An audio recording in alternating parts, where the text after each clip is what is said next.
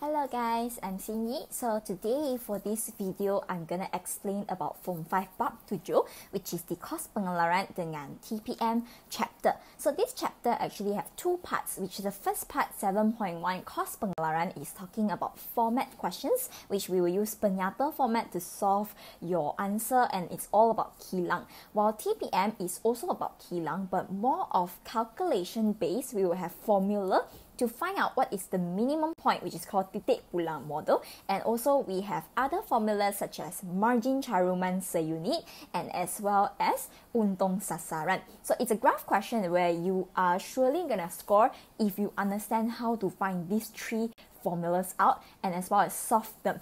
So for this video, I'm gonna first explain to you guys what is the components inside your kos pengeluaran and what is the format structure actually looks like or what items is under each sections. So make sure you understand that part first before you go into answering your questions. So this kos pengeluaran is actually the first part which I'm gonna be covering in this video today. So after I cover this part 1, on the next coming video, I'm gonna explain to you guys how bab 7.1 and 7.2 gonna connect together. So for now, I'm just gonna go on and focus on 7.1 first. So let's see the next video. Now, the first thing is for this chapter, you're going to understand the elements inside. So the elements that we have for this Kos Pengeluaran chapter is all about kilang sahaja. So let's explain starting from the topic's name, which is called Kos Pengeluaran. So let me zoom in a little bit on that part. So cost actually meant by belanja while pengeluaran means your production. So means example, if I am a kilang kasut. So what is my production about? My production is about kasut. Uh, that is the meaning. So pengeluaran can also be translated as kilang. Because when you guys are producing your own products as a business owner, of course, I would produce it in the factory instead of inside my shop. So depending on how big your business is, but in this topic, we're talking about mainly factory. So in this 7.1, we cannot include anything that is out of kilang. So example, pejabat, office things, then we will exclude them out from this area. So kos pengeluaran, we have total of four different parts of cost. So the first type of cost is the main one, which is our materials. So that's called bahan.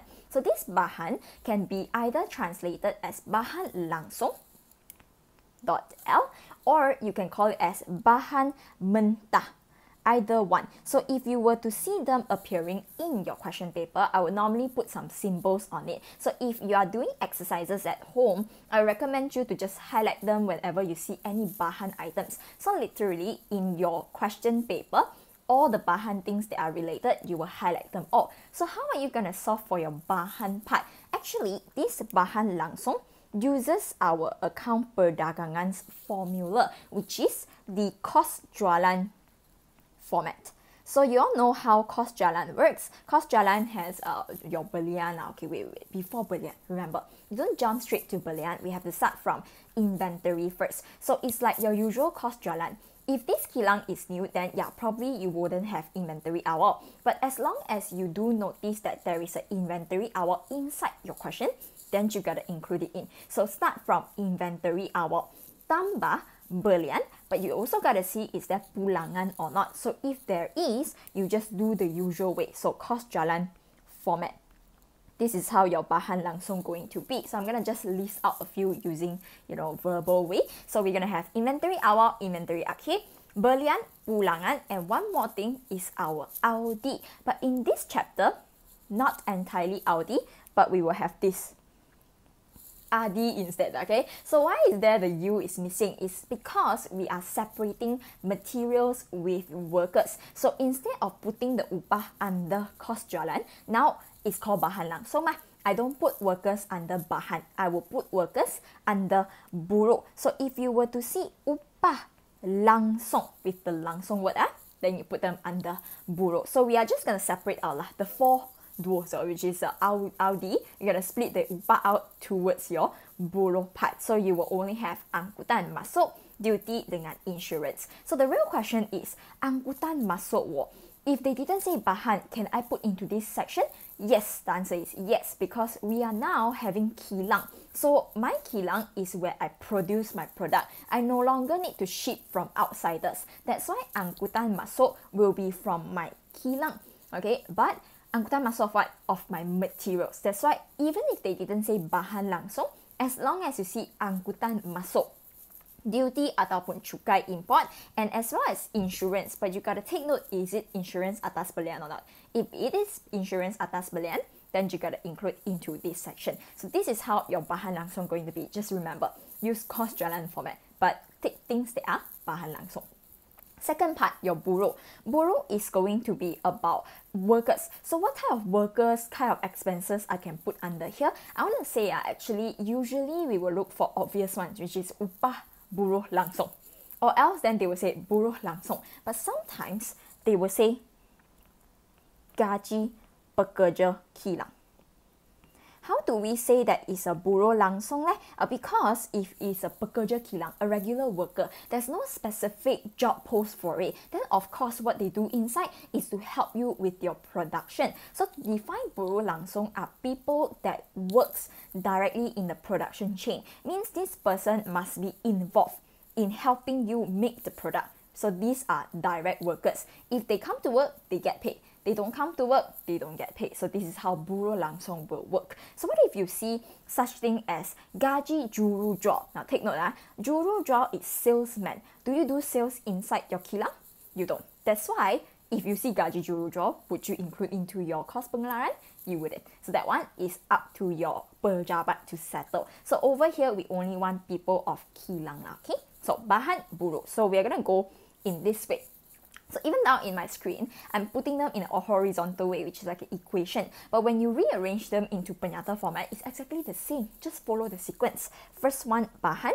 Second one, buruh. And the third one is going to be our belanja langsung. So it sometimes you can call it belanja langsung. Sometimes you can also call it bayaran langsung. There is two these two types of names. So you see which one you can remember, then you put them in. Okay, same one. So what is belanja or bayaran langsung? It's actually the copyrights that we buy to keep protect of our artwork or our uh, new inventions. So like example, if you are a branded car, branded bag, okay, you don't want people to copy your bag designs and stuff like that. So I gotta buy some, uh, you know, copyrights, patent and stuff like that. So belanja ataupun bayaran langsung the name is quite special one. I'm pretty sure you guys can see it immediately if it were to be in a question. Example, royalty, patent, hak cipta. So only these three. If you were to see these three either one, then means you will have belanja, langsung. So these three added together, they are of langsung part.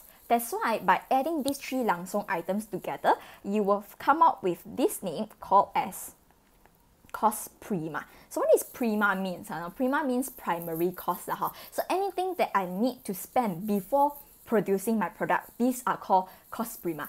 So after I calculated my cost prima, next up, we come into cost overhead. So this cost overhead uh, is actually gonna be labeled as this for uh, this symbol which is B circle. So this B circle is what we usually use in other chapters as belanja symbol lah. But why I use it here is because this cost overhead is exactly what you usually see belanja are. Example, insurance, kadar bayaran, everything those are under cost overhead. So you can also understand cost overhead as expenses that are fixed inside your kilang. Well, so what does it mean? It means that if now is a public holiday, I'm probably closed for 10 days. Do I still have to pay rent? We still have to pay rent. So all these fixed costs of the kilang, we will have to put under cost overhead. So very simple to classify one. As long as the belanja doesn't have the langsung word, then it's immediately under cost overhead. So we label as belanja. But one thing that you need to take note is they must have the kilang word. So for bab 7 question, uh, they like to split into ratios, which is example they will give you at maklumat tambahan, maybe like this insurance, and then there is such thing as kilang dengan pejabat. So they will give you percentage. Example, kilang 70%, pejabat 30%. So what you need to do is go into the list of your items, split your insurance into two parts, kilang dengan pejabat. But do I really have to do these two? I'll say you can consider if the question asks for account perdagangan dan untung rugi or not. Because usually for bab 7 question, right, they will stop at account perdagangan sahaja. So for part 8, they will usually ask you to prepare account pengeluaran, which is what we see here lah, okay, with all the kilang courses. While part B, they will say account perdagangan. So I want to say, uh, please don't get too comfortable with the question being always stop at account perdagangan because recently in our trials paper, there was once that the question came out with dan untung rugi. So you know what will happen? A, your account perdagangan will only have jualan belian, but then in account untung rugi, you will have all the types of belanja dengan hasil of pejabat. So actually, uh, pejabat is talking about your store which is the kedai. So anything that is meant for kedai, you will count under the pejabat ratio and you put it under account untung rugi. So it depends whether they give you this or not. If they ask for account untung rugi, then yes, both ratios you have to count out for them. Then only you can do your part B ma. But if they didn't ask for it, they stop at account perdagangan. Will I bother calculating pejabat? I wouldn't. I will just skip it, just do the kilang portion will do. And then that is for your cost overhead. So this is our bab tujuh cost pengeluaran. The format is exactly the sequence that I've written over here. You will start from bahan, buruh, belanja langsung. Add together, become cost prima. Moving on, after cost prima, then you're gonna get your cost overhead. This is gonna be the fourth part where you add together after you found your cost prima. But at the end of it, after you add it together, is it directly cost pengeluaran? No, you will have this item called as kerja dalam proses awal dengan akhir. So I'm gonna say it will be at the bottom of your answer. So how you do with it is like usually inventory awal and inventory akhir. Will you plus or minus awal? Awal is always plus. Akhir is always minus. So at the end of it, before you can find your cost pengeluaran, you just take the jumlah of all your costs uh, above uh, plus KDP uh, awal minus KDP akhir. Then you will get your cost pengeluaran already. So this is BAP 7.1.